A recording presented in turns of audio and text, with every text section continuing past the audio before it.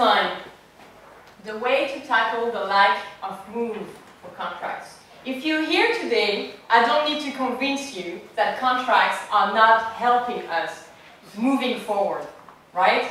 We all agree on that. That's why you came today, and that's why some of you are going to be here tomorrow as well. But then there might be something that might surprise you. It's the reason why contracts are not moving forward is not because they're too complex, it's not because they're too long, and it's not because they're too technical. Really believe me, this is not the issue we have here. This is just the tip of the iceberg of a much bigger issue that we're going to tackle tomorrow.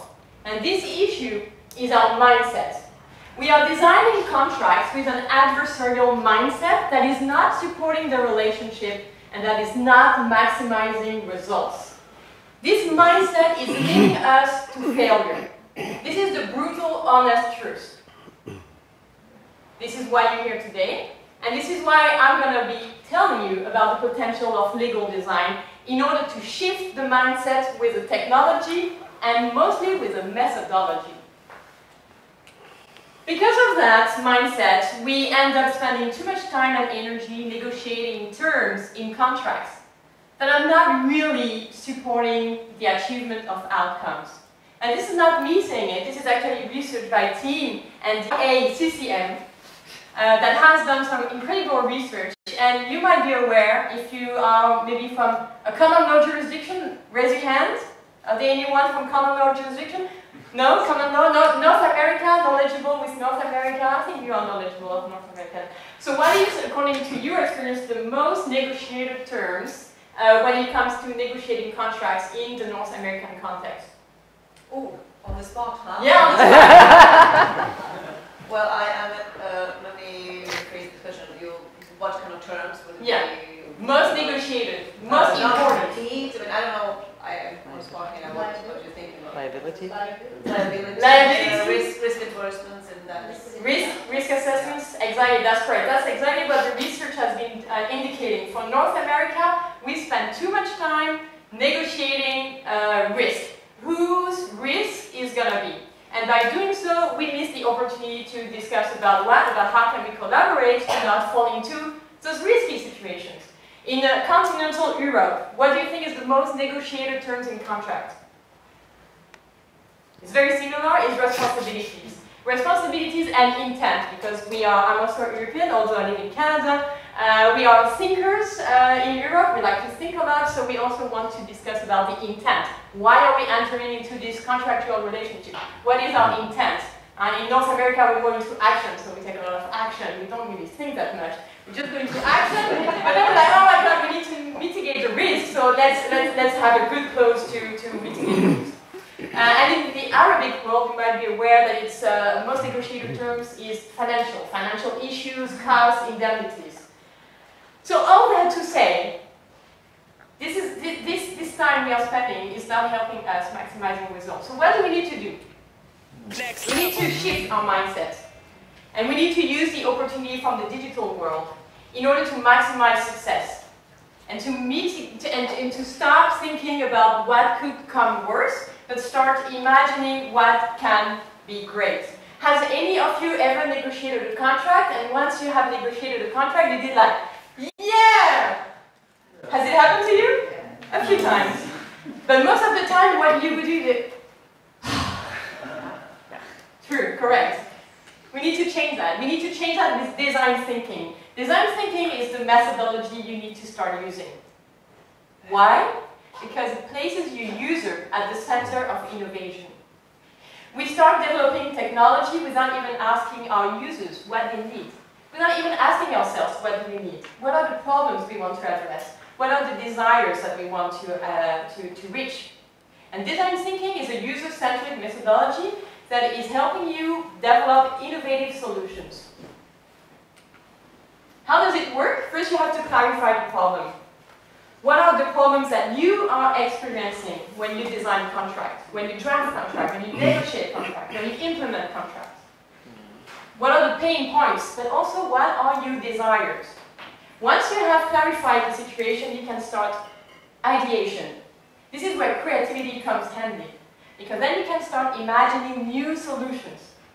Do not limit yourself. It's easier to tame a wild idea than to make a traditional idea go a little wild. So you have not to limit yourself.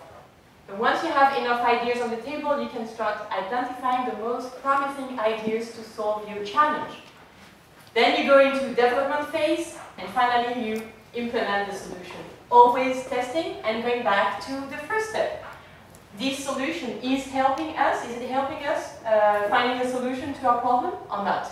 And then you have a constant feedback and it's a, a process that is uh, feeding you with data and information in order to make sure that the innovation that you do actually works and gets results. But then I told you, you need, you need also a different kind of thinking. So now we have a methodology, but we also need a new kind of thinking. And this is creative thinking. Why do we need creative thinking? Because the problem we have created, we have created ourselves with our own traditional linear thinking. We cannot solve a problem we have created ourselves by using the same kind of thinking. This is why we need creative thinking. Creative thinking is about finding novel solutions, solutions that are not just new, but also relevant. So it's also about finding the, uh, the, the solutions that are appropriate to solve your problem. This is just a very straightforward example of what you can do when you, you come with creative thinking. We, we move from the first contract to your left, uh, that is very long and complex and almost useless, to something that is much more to the user, uh, with a design that actually fits on the phone, uh, and we, which is very similar to maybe, uh, maybe we have users of Apple Music in the room or, or Spotify, doesn't it look like a little bit like this? Yeah. And this is what we are used to, to use now. Every day we use those tools. And why contracts should not use the same uh, attractiveness. Do you see um, any other difference uh, except for the, for the visual, for the design? Do you see any other difference between those two kinds of uh, contracts? It's simplified. Simplified? Yes, and it, it's more, uh, actually talks more to the, uh, the, the reader rather than looking at it from a legal perspective. Mhm. So it's more the layman's term. Yes, so easier for the reader to understand. The other major difference is that the contract over there is just text. This is not something that you can program. You cannot extract any data from this first contract. However, here, this is all programmed. This means you can collect the data. Instantly, you can use the data, you can analyze the data, and then you can improve your solution. This is the major difference between the old contract and the new contract. And this is why you need technology.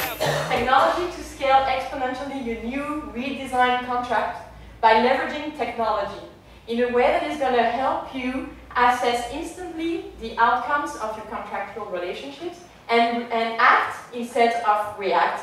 So you act to prevent and to maximize success instead of reacting once you have a problem to try to mitigate and put the risk in uh, to the other person.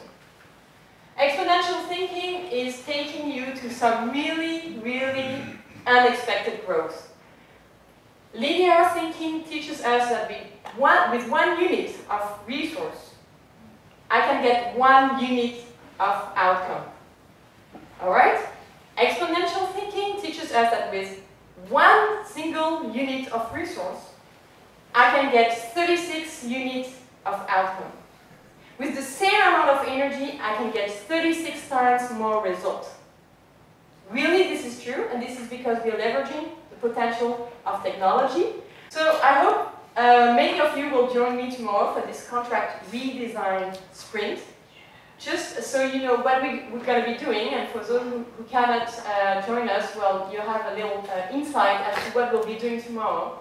We'll be um, having the sprint together where we'll be streamlining flows. So instead of uh, focusing on uh, uh, all those risks, we'll be focusing on how can we make contract work. We'll also be working on how contracts can uh, help us get data, how can we collect data, extract the data, analyze the data, and use the data in order to support the relationship. And of course, all of this is going to simplify the communication between uh, contracting partners. Just to finish, six quick steps for those of you who cannot attend tomorrow. At least you will get um, a little bit of insight as to the legal design methodology in six steps. First, you have to know who are your users. Who are your clients? what do they want? What are their pain points? What are their desires? We need to ask them. We even need to ask who are our users. Might, it might be the case that you have multiple users and they have different needs and desires. Then you review the data. Once you have the data, you can start from the customer and design your contract backwards. It's not about start, starting from the legal framework and then designing the contract. As Amazon CEO said, we start with the customer and then we design the product backwards. So that's what we need to do. We need to reverse engineer and then we can imagine a new legal experience, a new contractual experience.